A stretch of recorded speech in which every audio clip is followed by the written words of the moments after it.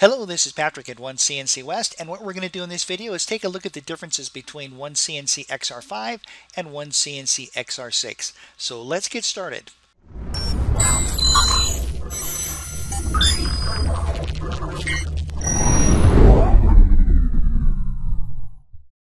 Now, I'm not going to be able to show you all the differences because of time constraints, but I'll do the best I can to show you as much as possible.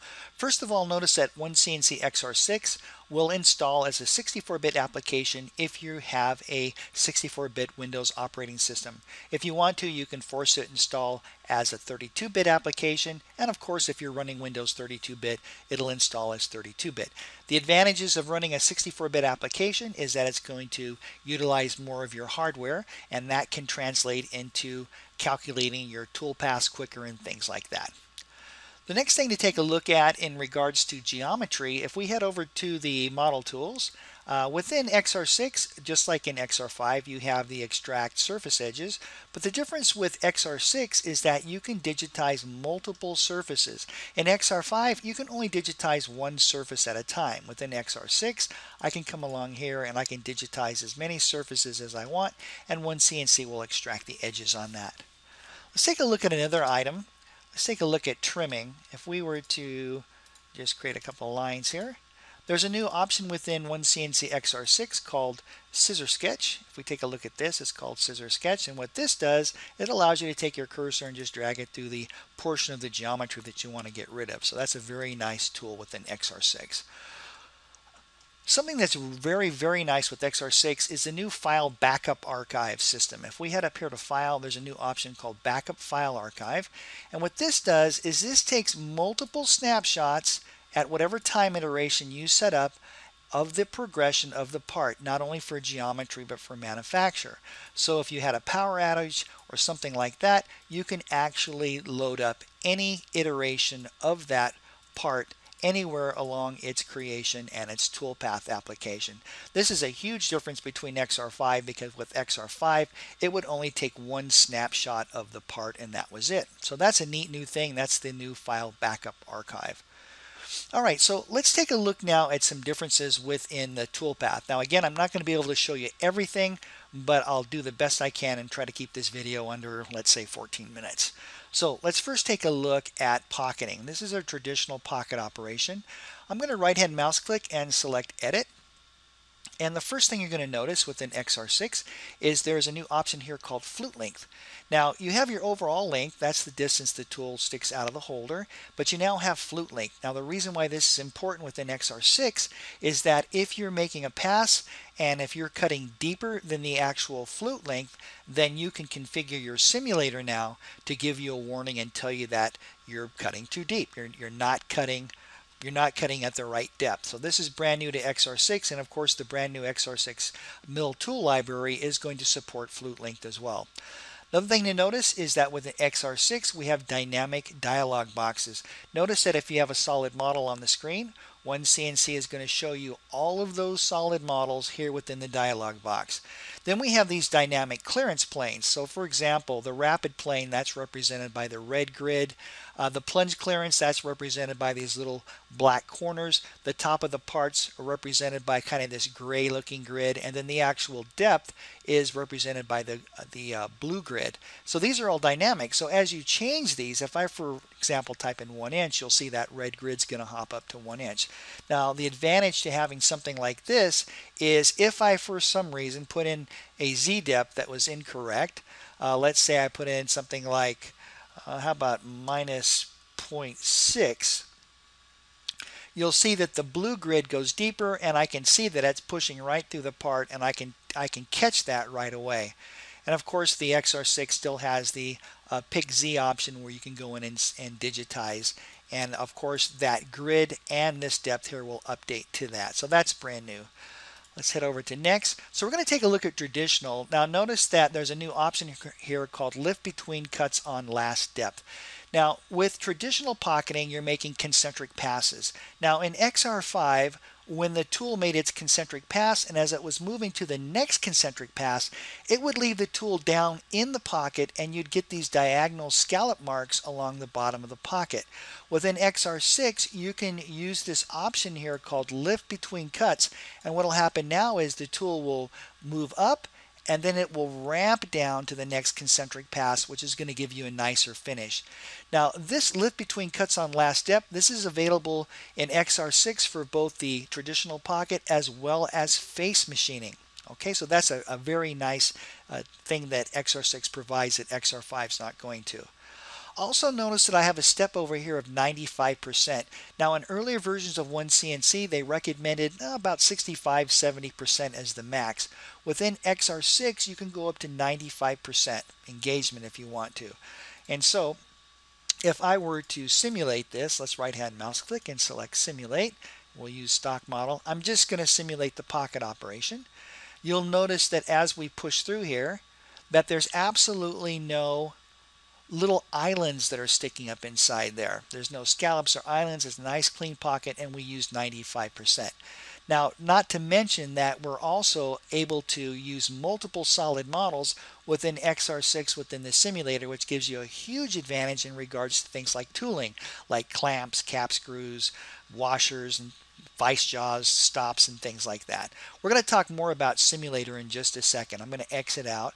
I'm going to show you XR5. So here's XR5. Here's exactly the same pocket operation. So if I go in here and select edit, and if we take a look at the step over, you'll see that this is indeed uh, traditional. And if we look at step over, uh, it's 95%.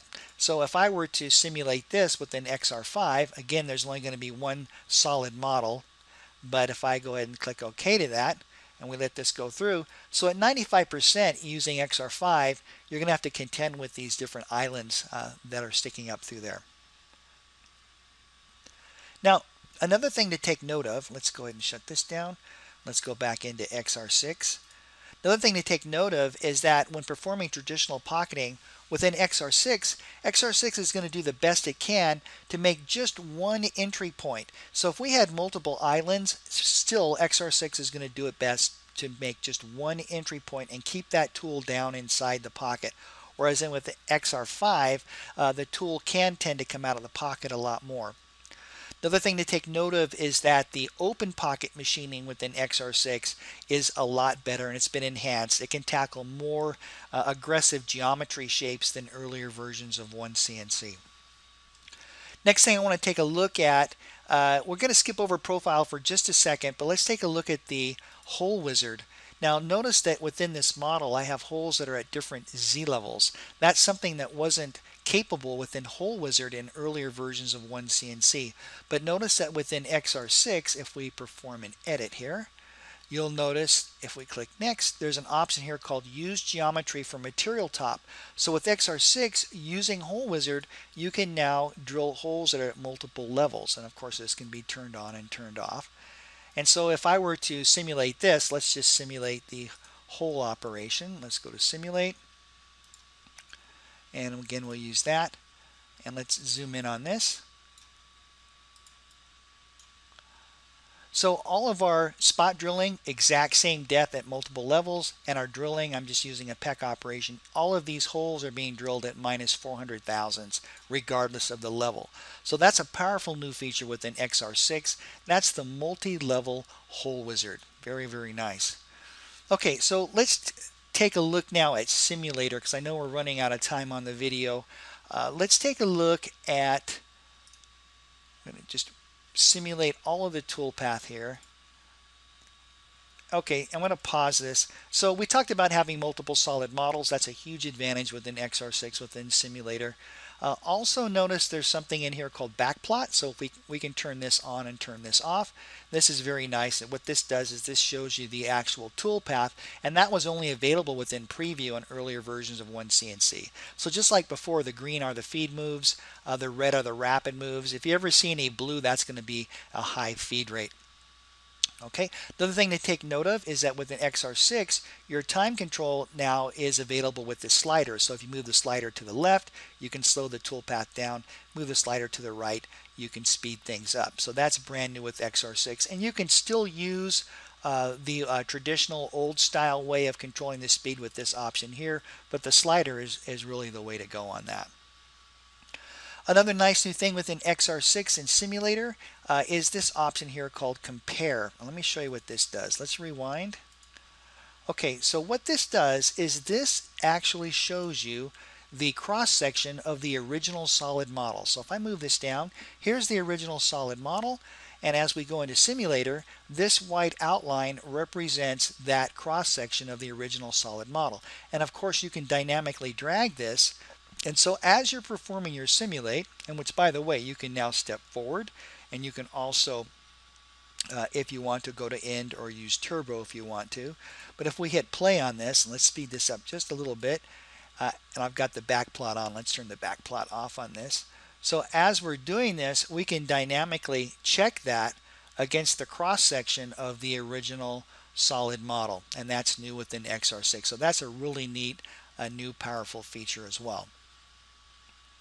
Uh, you also have the show tool and show holder. I believe this was the same in XR5. I may be wrong, but you have the ability to make it translucent uh, disappear or off and you can do the same with the holder translucent see-through or back on again and of course you can show the uh, geometry and if you want to you can show the stock now the stock's going to appear as this kind of looks like blue glass and you can turn that on and off too so there's a lot more versatility within the XR6 simulator now let's take a look at some of the powerful uh, detection options within XR6. Let's first take a look at the rapid collision. What I'm going to do is this. I'm going to go into our profile operation. Let's edit that. And I'm going to change my rapid to, instead of an inch, I'm going to make that just 200 thousandths. So I know that's going to rapid through my one of my cap screws. Okay, now let's go and let's just simulate just the profiling. And I'm going to turn on, actually I already have it turned on, this show rapid collision. So what's going to happen here is as this tool rapids from one position to another, it's going to hit that cap screw. Bang. But in XR6, it's going to give us a warning now, rapid collision detected. Now you would not want to ignore that. You'd want to go back and change your your uh, rapid value, your Z value there. But if you do ignore it and hit play, it'll go through, but you're going to see that it's going to leave the mark, the red on the actual cap screw. So that's brand new with within XR6. That's the show rapid collision. Now let's let's take a look at something else we can do here.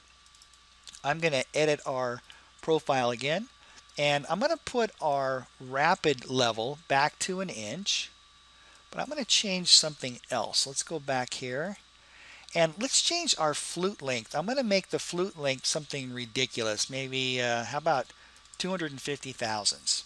Okay, I'll click next on that. So that's definitely not enough flute length to profile this. So let's go back in here and profile. We're just going to simulate just the profile and I have the show shank and holder collisions. And so what this is doing now is this is telling me that there's a collision detected, but this time it has to do with me not having enough flute length. And you can see the shank is going to actually rub against the the stock there. So if I ignore that, which you wouldn't want to do, but if you ignore it, what this is going to do is this is going to paint blue on the geometry, the area where the shank is actually rubbing against the material there. So that's a really neat new feature within XR6, the ability to detect that flute length.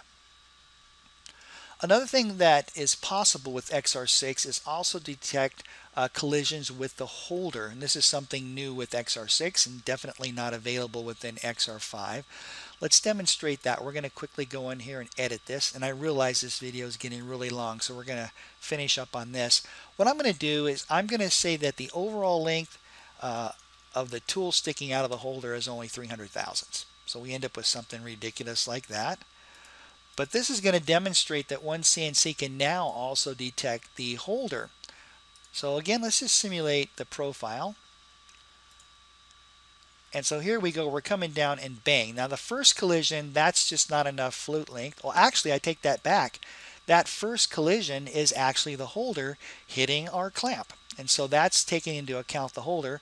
That's something you wouldn't want to ignore, but if you did, we'll push through there.